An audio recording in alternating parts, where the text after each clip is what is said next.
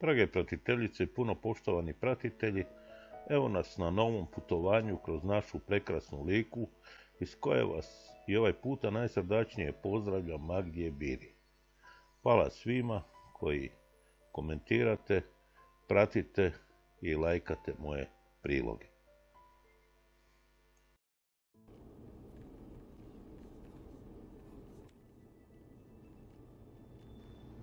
Na cesti sam koja ide od mjesta Krasno prema Kosinju i dalje prema Perušiću. Zapravo moj cilj danas je Donji Kosin, prema kojem se upravo spuštam ovom uskom asfaltnom cestom.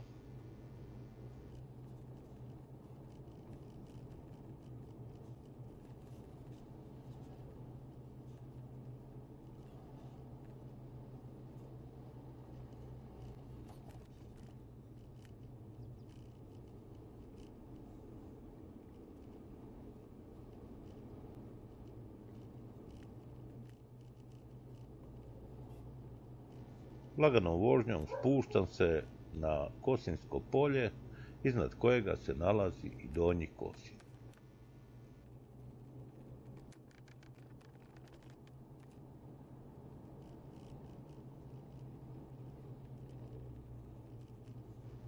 Kosinsko polje s proljeća obično bude jedno veliko jezero. Zapravo poplave na ovom polju su normalna pojava. Tu ispod mene desno ponire rijeka Lika i ispod Velebita odlazi u more. Upravo ulazim u dugačko ličko selo Donji Kosi.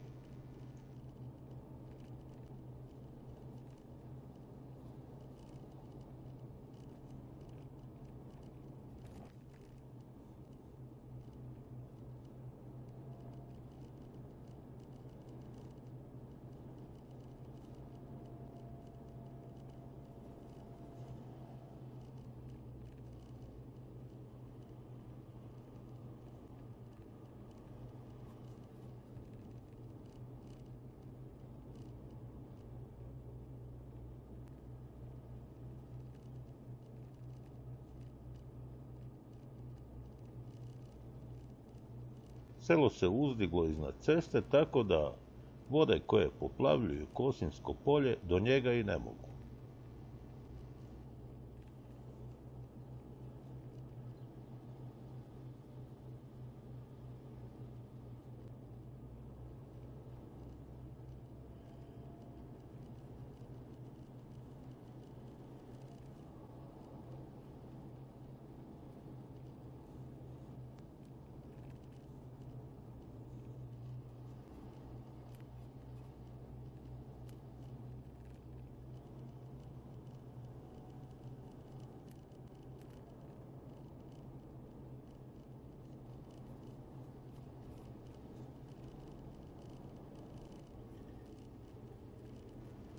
Selo se nekako čudno proteglo pored ceste.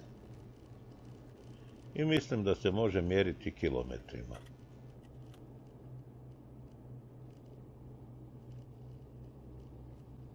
Za razliku od drugih ličkih sela, ovo selo je sigurno naseljeno.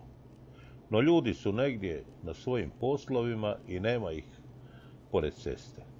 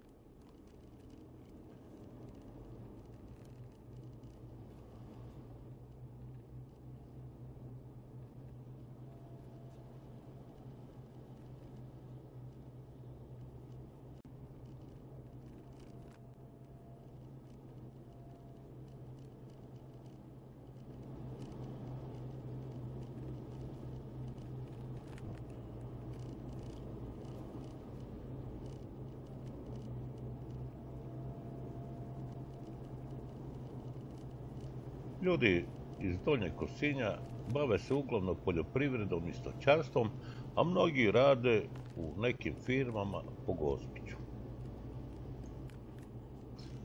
Ovo selo krase i mnoga bogata domaćinstva.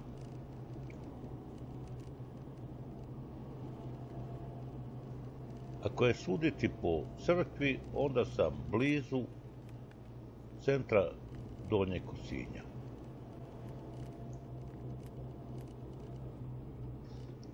A evo gdje su ljudi iz Donjega Kosinja. Marljivo rade jer je prekrasan dan.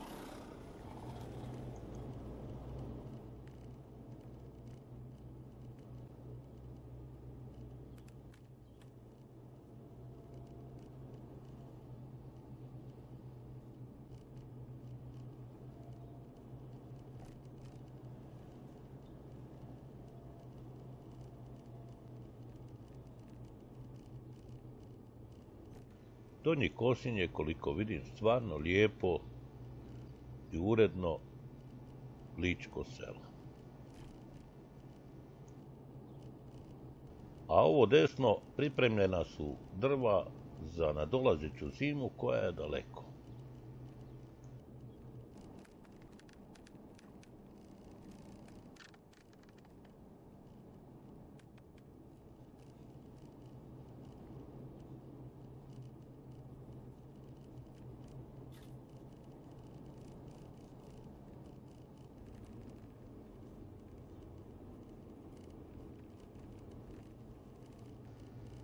Dugo se vozim kroz selo, a selu nigdje kraja.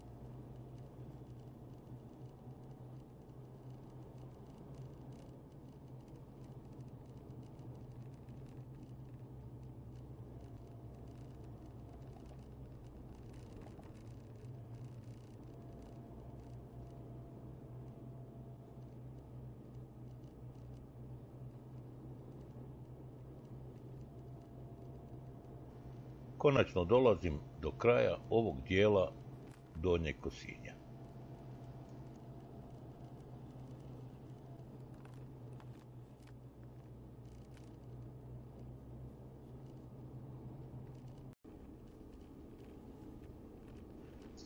I evo me, upravo prolazim zadnje dijelove Donjeg Kosinja.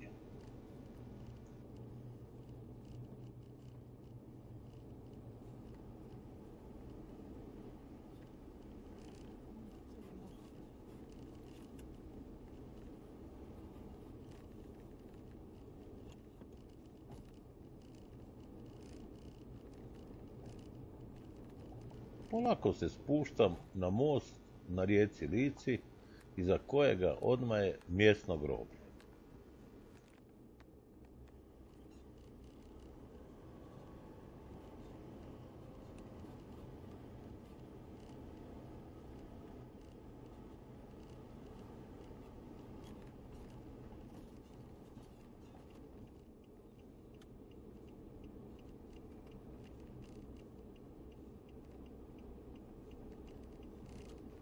Ovdje zastajem kako bi snimio most i rijeku Liku.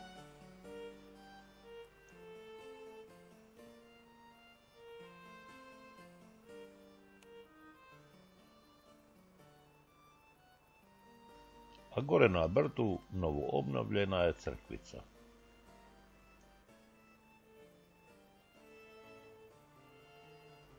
I tako, dragi moji, bilo je to ličko selo Donji Kosinj a ja polako cestom krećem dalje prema gornjem Kosinju kojega uskoro neće biti jer ga počinju razarati globalističke sile. Pa se vidimo u gornjem Kosinju.